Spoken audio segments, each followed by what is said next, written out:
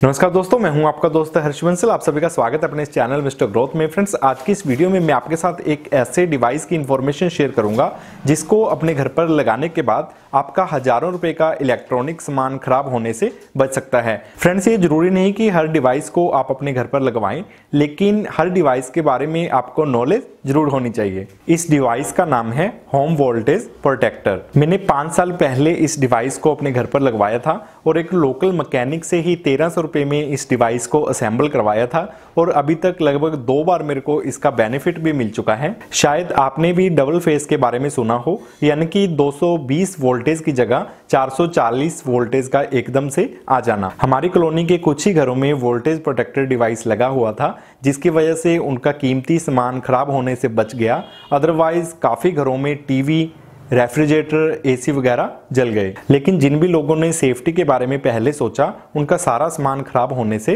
बच गया। ज़्यादातर हमारे घर के इलेक्ट्रॉनिक डिवाइस हैं, वो तब खराब होते हैं, या तो वोल्टेज 160 से कम आए, या फिर 280 से ज़्यादा आए। और यह डिवाइस यही काम करता है, अगर वोल्टेज 160 से कम आती है, या फिर 280 से ज़्यादा हो जाती है तो ये घर की लाइट को कट कर देता है। यह डिवाइस स्टेबलाइजर की तरह वोल्टेज को कम या ज़्यादा नहीं करता, बल्कि कम या ज़्यादा होने पर लाइट को कट कर देता है। इसलिए स्टेबलाइजर एंड ये वोल्टेज प्रोटेक्टर दोनों अलग अलग चीज़ें हैं। अगर आपके घर की मेन सप्लाई पर स्टेबलाइजर पहले से लगा हुआ है, तब भी आपको कंफर्म कर लेना चाहिए कि इसमें high and low voltage cut वाला प्रोटेक्टर लगा हुआ है या फिर नहीं लगा हुआ। अगर आप भी इस वोल्टेज प्रोटेक्टर को अपने घर पर लगवाना चाहते हो तो आप अपनी सिटी की कोई भी फ़ेमस शॉप पता कर लीजिए, जो स्टेबलाइजर वगैरह बनाते हो तो उनसे आप इस डिवाइस को बनवा सकते हो। या फिर अगर आप ऑनलाइन इस डिवाइस को परचेज करना चाहते हो तो एमेजन पर ये दोनों ऑप्शन में आपको मिल जाता है। यानी कि अगर आपके घर पर सिंगल फेस का कनेक्शन है